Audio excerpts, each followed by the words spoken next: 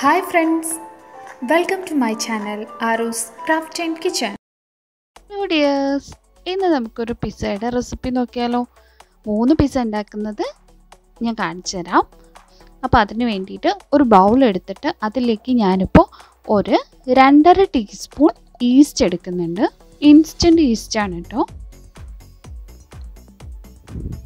അതിനുശേഷം ഒരു half teaspoon ഉപ്പെടുത്തിട്ടുണ്ട്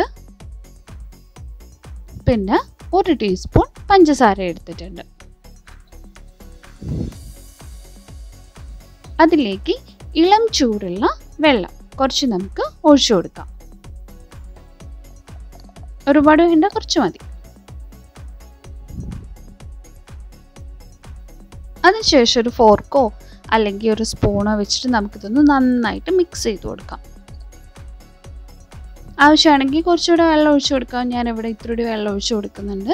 നമുക്കിത് ഡോ ഉണ്ടാക്കാൻ വേണ്ടിയിട്ടാണ് അപ്പോൾ കുറച്ചധികം വെള്ളമായാലും കുഴപ്പമൊന്നുമില്ല. അതിനുശേഷം നമുക്കിതൊരു പത്ത് മിനിറ്റ് നേരത്തേക്ക് റെസ്റ്റ് ചെയ്യാൻ വേണ്ടി മൂടി വയ്ക്കാം. ഇപ്പോൾ പത്ത് മിനിറ്റ് കഴിഞ്ഞിട്ടുണ്ട്.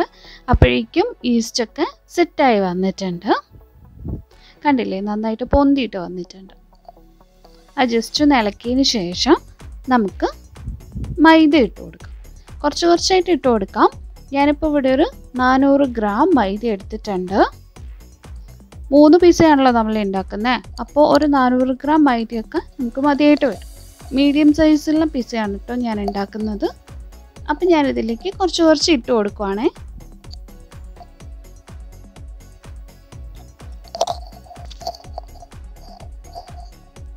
അതിനുശേഷം നന്നായിട്ട് മിക്സ് ചെയ്തിട്ട് നമുക്കിത് നമ്മൾ ചപ്പാത്തി മാവില്ലേ അതുപോലെ കുഴച്ചെടുക്കാം അതിനേക്കാളും കുറച്ചുകൂടെ വെള്ളം വേണം. ആ ഒരു പരുവത്തിലാണ് നമ്മളിത് കുഴച്ചെടുക്കേണ്ടത്. ഇപ്പം ഞാൻ ഒഴിച്ചു കൊടുക്കുന്നത് സാധാരണ നോർമൽ വാട്ടറാണ് ചൂടും ഇല്ല തണുപ്പും ഇല്ല.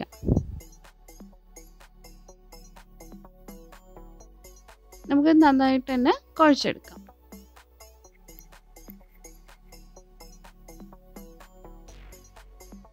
ഇതാ ഞാനിപ്പോൾ നന്നായിട്ട് കുഴച്ചെടുത്തിട്ടുണ്ട്.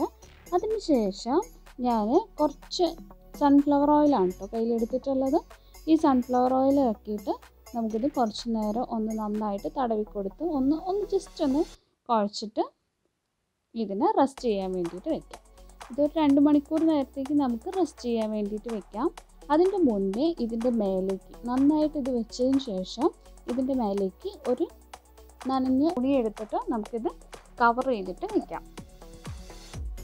അതിന് ഒരു മൂടി കൊണ്ട് മൂടി വെച്ചിട്ട് നമുക്കിതൊരു രണ്ട് മണിക്കൂർ നേരത്തേക്ക് റെസ്റ്റ് ചെയ്യാൻ വെക്കാം. അപ്പോഴത്തേക്കും നമുക്ക് ചിക്കനൊക്കെ ഒന്ന് സെറ്റാക്കി എടുക്കാം. ഞാനിപ്പോൾ ഇവിടെ ഒരു അഞ്ഞൂറ് ഗ്രാം ബോൺലെസ് ചിക്കനാണ് എടുത്തിട്ടുള്ളത്. അതിലേക്ക് കാശ്മീരി മുളക് പൊടി ഇട്ട് കൊടുക്കുന്നത്. രണ്ട് ടേബിൾ സ്പൂൺ കാശ്മീരി മുളക് പൊടി ഇട്ട് കൊടുക്കുന്നുണ്ട്. അത് എരിവൊക്കെ നോക്കിയിട്ട് ഇങ്ങനെ ഇട്ടാൽ മതി കേട്ടോ അതുപോലെ തന്നെ രണ്ട് ടേബിൾ സ്പൂൺ കോൺഫ്ലോറും ചേർത്ത് കൊടുക്കുന്നുണ്ട്.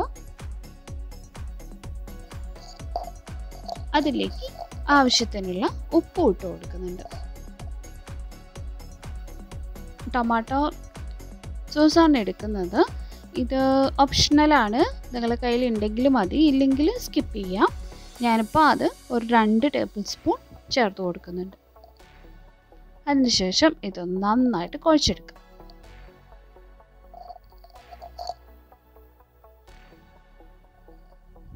ഇതൊരു അരമണിക്കൂർ നേരത്തേക്ക് നമുക്ക് റെസ്റ്റ് ചെയ്യാൻ വേണ്ടിയിട്ട് വെക്കാം. അരമണിക്കൂർ ഉണ്ടാവില്ല ഒരു പത്ത് ഇരുപത് മിനിറ്റ് നേരത്തേക്ക് റെസ്റ്റ് ചെയ്യാൻ വെക്കാം. അപ്പോൾ തന്നെ നമുക്ക് ബീഫ് സെറ്റാക്കി എടുക്കാം. ബീഫും ബോൺലെസ് ആണ്. ഞാനിത് കട്ട് ചെയ്ത് വെച്ചിട്ടുണ്ടായിരുന്നു നേരത്തെ. ഇതിലേക്ക് കുറച്ച് കുരുമുളക് പൊടി. ഇതിലേക്ക് ഒന്നര ടേബിൾ സ്പൂൺ കുരുമുളക് പൊടിയാണ് ഇട്ടോ ഇട്ട് കൊടുത്തിട്ടുള്ളത്.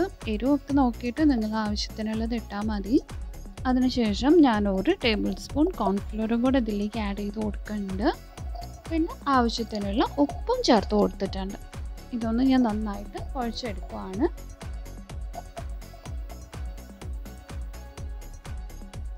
വേണമെങ്കിൽ കുറച്ച് ജീരകം ഇട്ട് കൊടുക്കാം. വെറും ജീരകമാണെങ്കിൽ നല്ലതാണ്. ഞാനിപ്പോൾ ഇവിടെ നല്ല ജീരകമാണ് ഇട്ടിട്ടുള്ളത്. ഇത് ജീരകം ഇഷ്ടമില്ലാത്ത ആൾക്കാർ ഇടുകയേ വേണ്ട. ഇവിടെ ഇഷ്ടമുള്ളതുകൊണ്ടാണ് ഞാൻ ഇട്ടിട്ടുള്ളത്. ഇനി നമുക്ക് സോസ് ഉണ്ടാക്കി എടുക്കാം.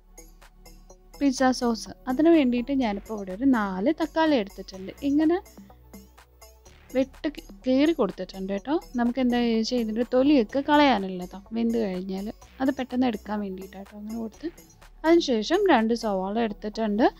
ഒരു കാപ്സിക്കം എടുത്തിട്ടുണ്ട്. കുറച്ച് വെളുത്തുള്ളി എടുത്തിട്ടുണ്ട്. നമുക്കിതെല്ലാം കൂടെ കുക്കറിലേക്ക് ഇട്ട് കൊടുക്കാം. ഇനി ഇതിലേക്ക് കുറച്ച് ഒരു ടേബിൾ സ്പൂൺ കാശ്മീരി മുളക് പൊടി ഇട്ട് കൊടുത്തിട്ടുണ്ട്. ഒരു ടീസ്പൂൺ പഞ്ചസാര ചേർത്ത് കൊടുക്കാം. ആവശ്യത്തിന് ഉപ്പും കൂടി ചേർത്ത് കൊടുത്തിട്ടുണ്ട്. ഇതിലേക്ക് വളരെ കുറച്ച് വെള്ളം ഒഴിച്ചു കൊടുത്താൽ മതി. ഇതിപ്പോൾ ഞാനൊന്ന് വേവിച്ചെടുത്തിട്ടുണ്ട്. ഇല നല്ലപോലെ തന്നെ വെന്ത് വന്നിട്ടുണ്ട്. നമുക്കിത് വെള്ളവും ആ കഷ്ണങ്ങളും ഒന്ന് മാറ്റിയെടുക്കാം. ഞാൻ ഒഴിച്ച് കുറച്ച് വെള്ളം അധികമായിപ്പോയി. ഈ മുളക് പൊടി ഇപ്പോൾ ഇടണമെന്നില്ല കേട്ടോ. ഫസ്റ്റ് തന്നെ ഇടണമെന്നില്ല. നമുക്ക് ഇത് ഒന്നുകൂടെ സോസിന്റെ കുറച്ച് പരിപാടികൾ കൂടെ ഉണ്ട് അപ്പോൾ ആ സമയത്ത് ചേർത്ത് കൊടുത്താൽ മതി. അപ്പോൾ ഞാനിത് വെള്ളം ഒഴിവാക്കി വേറൊരു പാത്രത്തിൽ വെച്ചിട്ടുണ്ട്. അതിനുശേഷം തക്കാളിയൊക്കെ ഒന്ന് തൊലി പോക്കിയിട്ട് എടുക്കുവാണ്. അതിന്റെ മേൽഭാഗം ഇല്ലേ കണ്ണ് പോലത്തെ ആ ഒരു ഭാഗം അതും കൂടെ ഒന്ന് ക്ലീൻ ചെയ്തിട്ട് എടുക്കണം കേട്ടോ. ഇനി ആ തക്കാളിയുടെ കണ്ണ് പോക്കിയിട്ട് നമുക്ക് ഇതിലേക്ക് ഇട്ട് കൊടുക്കാം.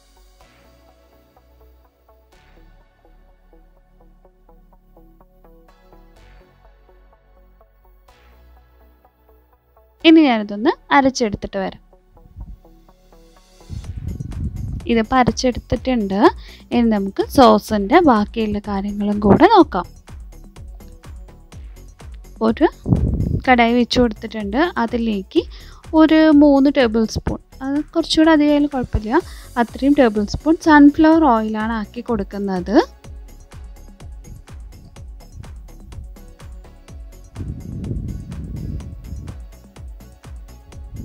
ഞാനിപ്പോൾ ഇവിടെ ഒരു മൂന്ന് ടേബിൾ സ്പൂൺ സൺഫ്ലവർ ഓയിൽ എടുത്തിട്ടുണ്ട്. അതിലേക്ക് നമുക്ക് ഒരു ടേബിൾ സ്പൂൺ വെളുത്തുള്ളി ചെറുതായിട്ട് മുറിച്ച് വെച്ചത് ഇട്ട് കൊടുക്കാം. എന്നിട്ട് അതൊന്ന് ഇളക്കി ഒന്ന് മൂപ്പിച്ചെടുക്കാം. ജസ്റ്റ് ഒരു കളർ മാറുന്ന വരെ നമുക്കിതൊന്ന് ഇളക്കി കൊടുക്കാം. ഇതിലേക്ക് കാശ്മീരി മുളക് പൊടിയാണ് ഇട്ടോ ഇട്ട് കൊടുത്തിട്ടുള്ളത്. ഈ സമയത്ത് ഇട്ട് കൊടുത്താൽ മതി. നമ്മൾ വേവിക്കുന്ന സമയത്ത് കാശ്മീരി ഇട്ട് കൊടുക്കണം എന്നില്ല വളരെ ഫ്ലെയിം സ്ലോ ലോ ആക്കി വെച്ചതിന് ശേഷം മാത്രമേ നമ്മളത് കാശ്മീരി മുളക് പൊടി ഇട്ട് കൊടുക്കാൻ പാടുള്ളൂ. ആ അതിലേക്ക് നമുക്ക് ഈ ഒരു അരപ്പും കൂടെ ഒഴിച്ചു കൊടുക്കാം. ജസ്റ്റ് ഒന്ന് റെഡി ആയിക്കോട്ടെ. ആ എണ്ണയും വെളുത്തുള്ളിയിലൊക്കെ കിടന്നിട്ട് ആ അരപ്പൊന്ന് സെറ്റ് ആവുന്ന വരെ നമുക്കിത് വെക്കാം. ആവശ്യത്തിനുള്ള ഉപ്പും വേണമെങ്കിൽ കുറച്ച് പഞ്ചസാരയും കൂടെ നമുക്കിത് ചേർത്ത് കൊടുക്കാം.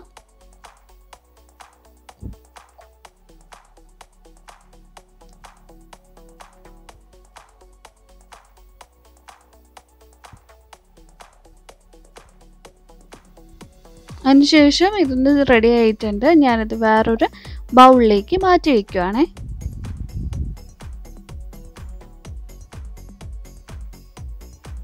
അതിനുശേഷം ഇനി നമുക്ക് പിസ്സ ഉണ്ടാക്കാൻ വേണ്ടിയിട്ട് ഉള്ള നമ്മളെ ചിക്കനും ബീഫൊക്കെ ഇല്ലേ അതൊക്കെ ഒന്ന് സെറ്റാക്കി എടുക്കാം. അതിന് ഒരു പാൻ വെച്ച് കൊടുത്തിട്ടുണ്ട്. അതിലേക്ക് കുറച്ച് സൺഫ്ലവർ ഓയിൽ ഒഴിച്ചു കൊടുത്തിട്ടുണ്ട്. ഇനി ഇതിൽ നമുക്ക് നമ്മൾ സെറ്റാക്കി വെച്ചിട്ടുള്ള ചിക്കൻ ഇട്ട് കൊടുക്കാം. ഓരോരോ പീസാക്കിയിട്ട് ഇട്ട് കൊടുക്കാം. അതിനുശേഷം നന്നായിട്ടൊന്ന് പൊരിച്ചെടുക്കാം. ഭയങ്കരമായിട്ട് പൊരിക്കണ്ട. ഒരു കടിച്ച നല്ല സോഫ്റ്റായിട്ട് കിട്ടുന്ന ആ ഒരു പരുവല്ലേ? അതുവരെ പൊരിച്ചിട്ടെടുക്കാം. ഇതൊന്ന് മൂടി വെച്ച് വേവിച്ചാൽ നല്ലതുണ്ടാവും. ഇതിപ്പോൾ ഏകദേശം റെഡിയായി വന്നിട്ടുണ്ട്. അതിലേക്ക് ഞാൻ കുറച്ച് ടൊമാറ്റോ സോസ് ഒഴിച്ചു കൊടുക്കുന്നുണ്ട്. വളരെ കുറച്ച് ആക്കി കൊടുത്തിട്ടുള്ളൂ. ആ ഒരു ഫ്ലേവർ ഒന്ന് വേറെ ഒരു ടേസ്റ്റിൽ കിട്ടാൻ വേണ്ടിയിട്ടാണ്. അപ്പം നമ്മളെ ചിക്കൻ പൊരിച്ചത് റെഡി ആയിട്ടുണ്ട്. ഞാനിതൊരു ബൗളിലേക്ക് ഇട്ട് വയ്ക്കുവാണേ ഹായ് അടിപൊളിയല്ലേ? ഞാനൊന്ന് ഇട്ട് കഴിച്ചു നോക്കി. നല്ല ടേസ്റ്റായി വന്നിട്ടുണ്ട്. ഇനി നമുക്കിതൊന്ന് മൂടി വയ്ക്കാം അടുത്തത് നമുക്ക് ബീഫും ഇതുപോലെ തന്നെ ഒന്ന് റെഡിയാക്കി എടുക്കണം. അതിന് വേണ്ടിയിട്ട് അതേ പാൻ തന്നെയാണ് കേട്ടോ. ആ പാനിലേക്ക് ഞാൻ കുറച്ചുകൂടെ സൺഫ്ലവർ ഓയിൽ ഒഴിച്ചു കൊടുത്തിട്ടുണ്ട്. ബീഫിന്റെ പീസ് ഇങ്ങനെ ഇട്ട് കൊടുക്കുവാണേ. അപ്പോൾ അതൊന്ന് ഇളക്കി ഒന്ന് എണ്ണയിലൊക്കെ ആക്കി റെഡിയാക്കി വെച്ചതിന് ശേഷം അതൊന്ന് നമുക്ക് മൂടി വയ്ക്കും കുറച്ച് നേരത്തേക്ക്. അത് നമുക്ക് അങ്ങനെ തന്നെ പൊരിച്ചെടുക്കാം. അപ്പോൾ ഏകദേശം ഇപ്പോൾ ഒരു രണ്ട് മണിക്കൂറിന്റെ അടുത്തായിട്ടുണ്ട്. അപ്പോൾ ഞാനത് തുറന്ന് നോക്കുകയാണ്. നമ്മളെ ഡോ അപ്പോൾ അത് നന്നായിട്ട് ഡബിൾ സൈസൊക്കെ ആയിട്ട് പൊന്തി വന്നിട്ടുണ്ട്. ഞാൻ ഇനി ഇതൊന്ന് കുഴക്കട്ടെ.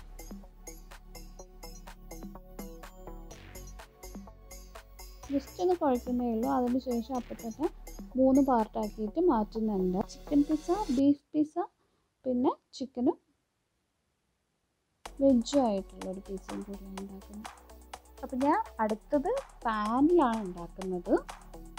നേരിട്ട് തന്നെ ജസ്റ്റ് ഒരു പാൻ എടുത്ത് അതിൽ നമ്മൾ ഇത് സൺഫ്ലവർ ഓയിൽ ആക്കി കൊടുക്കുക. അതിനുശേഷം നമ്മൾ ഡോ ആക്കി കൊടുക്കുക.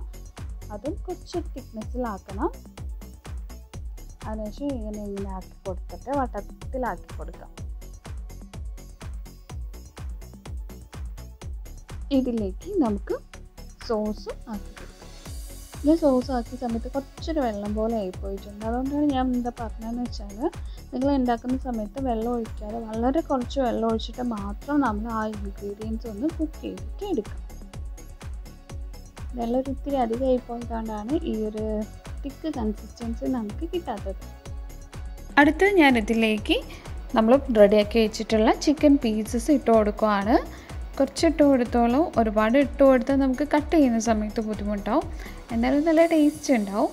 ഈ പീസ് ചിക്കൻ ഇട്ട് കൊടുത്തതിന് ശേഷം ഇതിലേക്ക് ക്യൂബ് സൈസായിട്ട് കട്ട് ചെയ്ത് വെച്ചിട്ടുള്ള ഉള്ളി ഇട്ട് കൊടുക്കാം.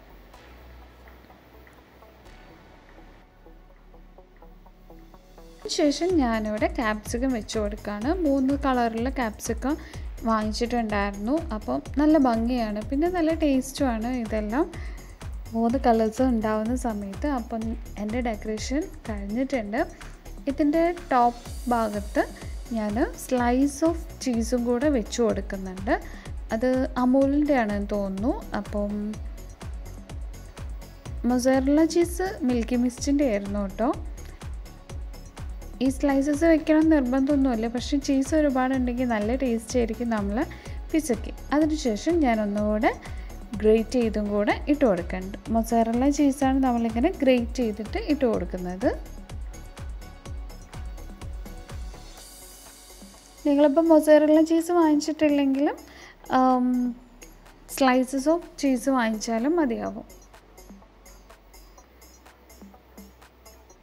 അതിനുശേഷം സ്റ്റൗ കത്തിച്ചിട്ട് അതിന്റെ ഏറ്റവും അടിയിൽ നല്ല അടികട്ടിയുള്ള ഒരു പത്തിരിച്ചട്ടിയോ അങ്ങനെ എന്തെങ്കിലും വെച്ച് കൊടുക്കുക. അതിന്റെ മേലെയാണ് നമ്മൾ നമ്മൾ പാൻ വെച്ച് കൊടുക്കുന്നത്.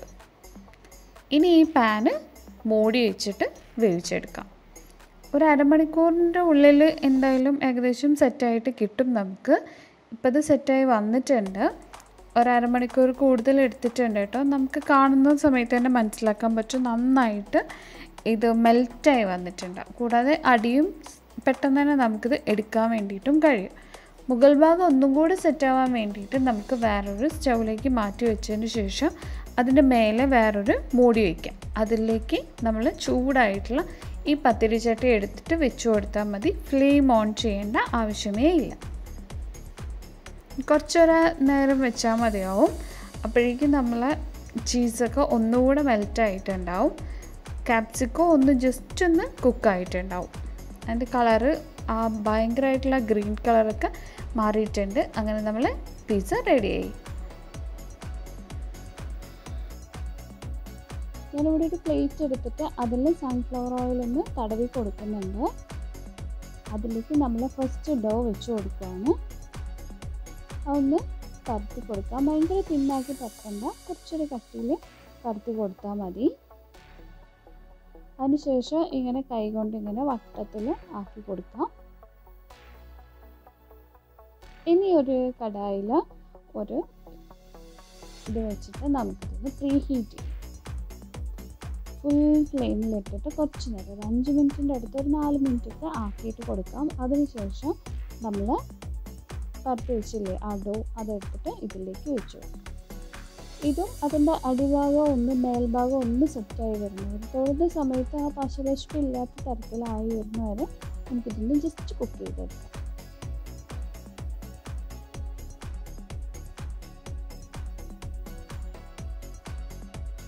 അതിനുശേഷം ആ പ്ലേറ്റ് പുറത്തേക്ക് എടുക്കാം. പ്ലേറ്റിലായതുകൊണ്ട് കുറച്ചൊന്ന് ഒട്ടി പിടിക്കും കേട്ടോ. അപ്പം നിങ്ങളുടെ കയ്യിൽ വേറെ എന്തെങ്കിലും പാത്രങ്ങൾ ഉണ്ടെങ്കിൽ അപ്പോൾ നിങ്ങൾ അതെടുക്കാം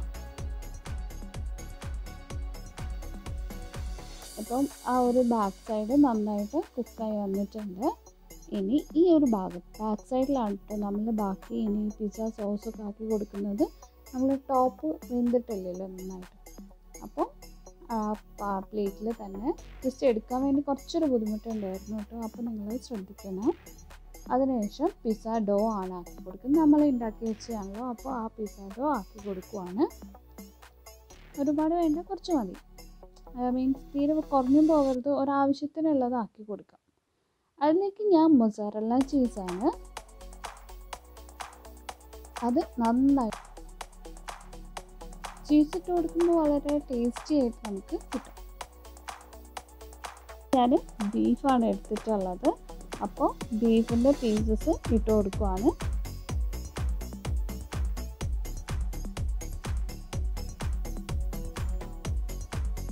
അല്ലെങ്കിൽ ഉള്ളി. നമ്മൾ വലിയ ഉള്ളി ക്യൂബ് സൈസായിട്ട് കട്ട് ചെയ്ത് വെച്ചിട്ടുണ്ടായിരുന്നു. അപ്പോൾ അത് ചേർത്ത് കൊടുക്കുവാണ്. അതിനുശേഷം ബെൽ പെപ്പർ ഉണ്ടായിരുന്നു. മീൻസ് നമ്മൾ ക്യാപ്സിക്ക ഇല്ലേ? അതിന്റെ വേറൊരു പേരാണ് ബെൽ പെപ്പർ അപ്പം അത് റെഡ് കളർ ഉണ്ട്. അതും വെച്ച് കൊടുക്കാം. ഗ്രീൻ ഉണ്ടായിരുന്നു യെല്ലോ ഉണ്ടായിരുന്നു. അപ്പോൾ അത് മൂന്നും ഞാൻ വെച്ച് കൊടുക്കുവാണ്. നല്ല ഭംഗിയാണ്. പിസ്സ കാണാൻ വേണ്ടിയിട്ട് ഈ ഇതൊക്കെ ഈ ക്യാപ്സിക്കം പല കളറിലുള്ളതാവുന്ന സമയത്ത് അതിനുശേഷം ഞാൻ കുറച്ചുകൂടി ചീസും ഗ്രേറ്റ് ചെയ്ത് വെച്ചിട്ട് ഇട്ട് കൊടുക്കാം.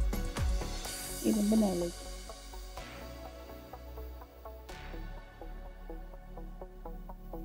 അതിനുശേഷം നമ്മൾ നേരത്തെ റെഡിയാക്കി വെച്ചിട്ടുള്ള ആ ഒരു പാത്രത്തിലേക്ക് മീൻസ് കടായിലേക്ക് നമ്മളിത് വെച്ച് കൊടുത്തിട്ടുണ്ട്. അതിനുശേഷം ഇതങ്ങ് മൂടി വെച്ചേക്കാം.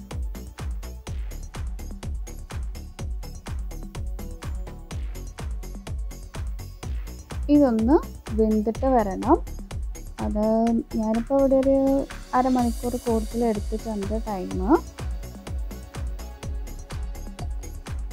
മാവിന്റെ കട്ടി മാവും അതിനൊക്കെ അനുസരിച്ചിട്ടിരിക്കും നമ്മൾ പിസ്സ വേവുന്ന സമയം അപ്പം ഏറ്റവും ടോപ്പിലുള്ള പിസ്സ ചീസൊക്കെ നന്നായി മെൽറ്റ് ചെയ്തിട്ടുണ്ടെങ്കിൽ നിങ്ങൾക്ക് എടുക്കാം. അത് വേണ്ടിയിട്ടുണ്ടാവും ഞാനിത് ജസ്റ്റ് ഒന്ന് കട്ട് ചെയ്തിട്ട് കാണിക്കുകയാണ് അപ്പോൾ നമുക്കിതിങ്ങനെ പൊക്കി മുറിച്ച് എടുക്കുന്ന സമയത്ത് കണ്ടില്ലേ ചീസൊക്കെ നന്നായിട്ട് വലിഞ്ഞു വരും.